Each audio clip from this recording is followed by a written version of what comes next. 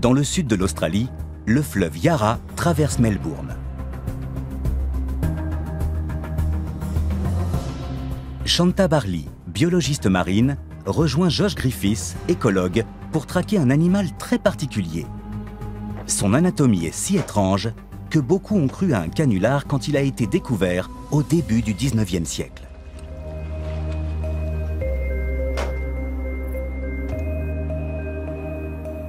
On l'a décrit comme un mélange de canard et de castor qui pondait des œufs.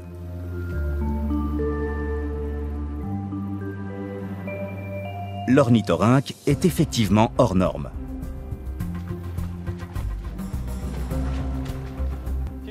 On a du mal à le croiser dans la journée. Il préfère chasser la nuit.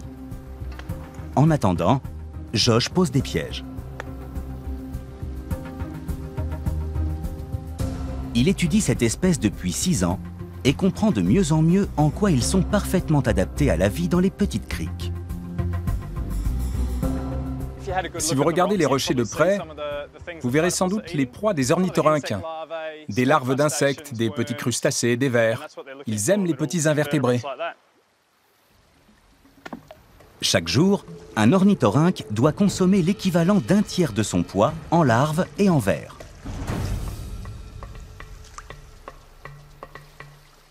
L'équipe attend la nuit tombée pour relever les pièges.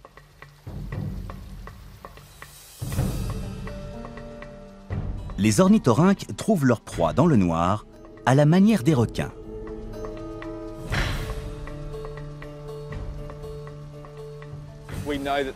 Ils peuvent détecter les impulsions électriques des animaux qui nagent dans l'eau.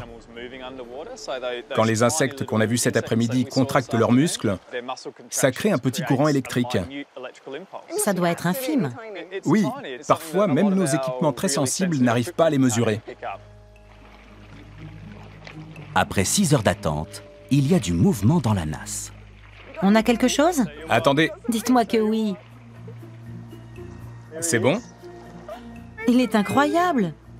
Il s'accroche, non Oui, ils ont de la force. C'est un petit mâle. On en tient un. Josh transfère rapidement l'animal dans un sac en tissu pour lui éviter tout stress inutile. Sa taille, son poids et son état de santé sont notés. Toute la population locale est suivie de près. C'est l'occasion de mieux voir son bec capable de détecter des signaux électriques pour chasser plus efficacement. Il a sorti son bec par l'ouverture. Je peux le toucher? Oui, il n'est pas comme on s'y attend. Ah oui. Il n'est pas dur comme celui d'un canard. Il est plutôt mou. Très mou. On voit aussi des trous sur la surface. Ils sont tout petits. Il y en a des milliers. Le bec est couvert d'environ 40 000 récepteurs qui sentent les courants électriques les plus faibles.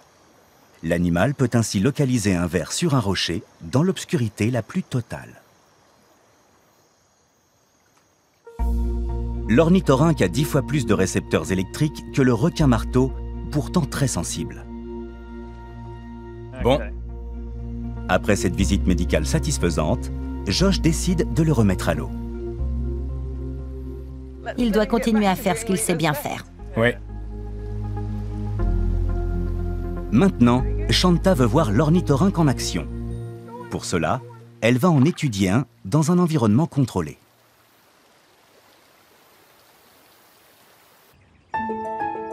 Le sanctuaire Hillsville à Melbourne est un refuge pour cette espèce menacée. Parmi ses pensionnaires, il y a une femelle appelée Yamakuna. Très acrobatique.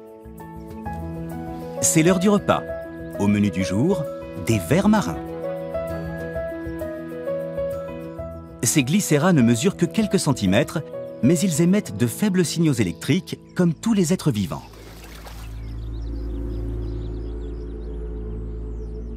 Dès que Yamakun a les sangs, elle fonce sur eux. Elle n'est pas guidée par ses yeux ou ses oreilles, mais uniquement par son bec. Elle bouge la tête droite à gauche, comme si elle scannait tout son environnement en trois dimensions.